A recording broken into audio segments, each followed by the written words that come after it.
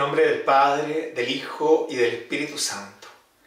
El Dios que viene a cumplir radicalmente la voluntad del Padre, esté siempre con todos ustedes.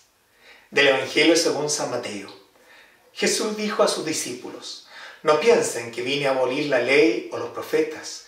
Yo no he venido a abolir, sino a dar cumplimiento. Les aseguro que no quedará ni una i ni una coma de la ley sin cumplirse antes que desaparezcan el cielo y la tierra. El que no cumple el más pequeño de estos mandamientos y enseña a los otros a hacer lo mismo, será considerado el menor en el reino de los cielos. En cambio, el que los cumpla y enseñe será considerado grande en el reino de los cielos. Juntos con invitarnos a ser testigos creíbles, practicantes de las verdades de fe que transmitimos a los demás, también nos dice algo fundamental. Jesús no vino como un anarquista a abolir las cosas. No fue un rebelde sin causa. Jesús vino a purificar la ley y los profetas ante las prácticas mediocres, torcidas e inclusive contradictorias de sus antecesores.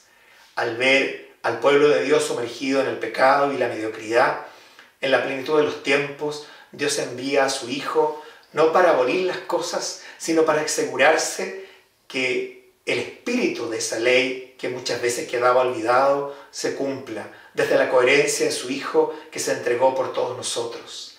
Pidámosle al Señor nosotros crecer en esta actitud y además intentar purificarnos de todo aquello que nos separa del camino de la coherencia.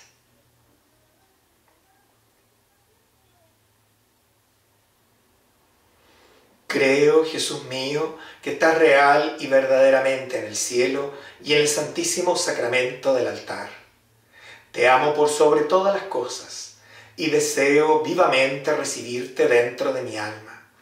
Mas, no pudiéndolo hacer ahora sacramentalmente, ven espiritualmente a mi corazón.